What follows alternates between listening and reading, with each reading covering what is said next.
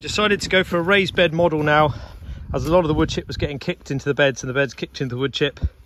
Just enough room for a wheelbarrow. We've got a team over here diligently harvesting beans and spinach. Okay, so that's the first rotation done.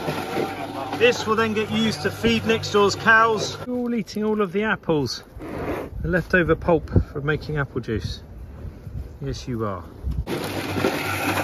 Over here we have the juice. We have Sophie who's diligently filling up the bottles. Well done. The very first Woodland Warrior programme, apple juice.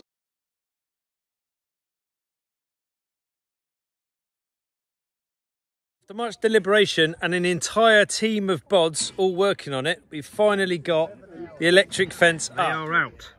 So they are now going to have to learn, sadly the hard way, about the electric fence.